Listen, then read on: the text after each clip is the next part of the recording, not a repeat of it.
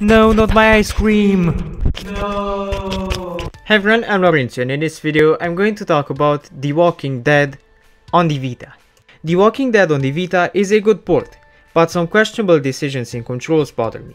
So in the game there are two control schemes. Device controls, which mean that you play the game like you would on a console, and touchscreen controls. I selected touchscreen controls. Big mistake.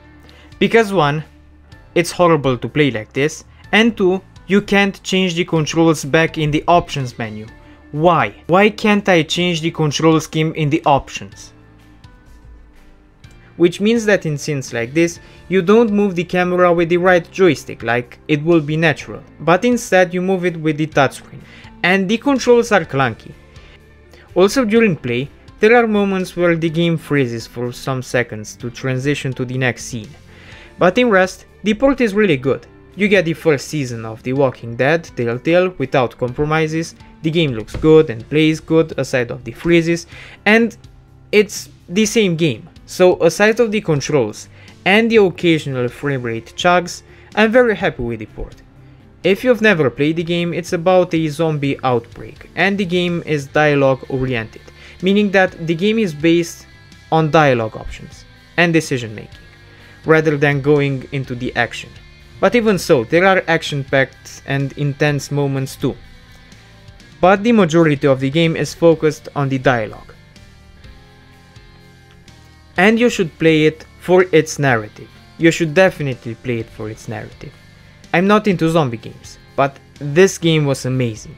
So you can try it even if you don't like post-apocalyptic games.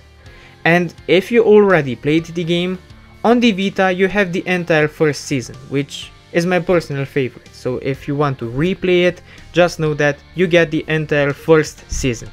And you also get the second season complete. I was wrong when saying in the first version of the video that you get only the first episode of season 2.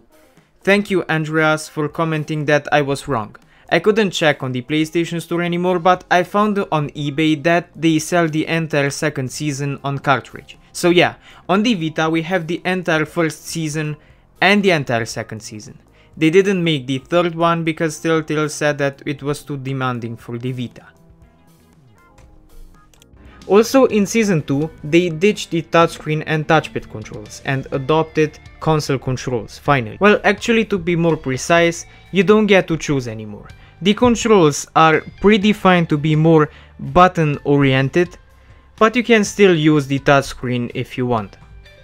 You don't get to choose, you can use both from the start. And action scenes and other stuff is usually linked to the buttons, not to the touchscreen.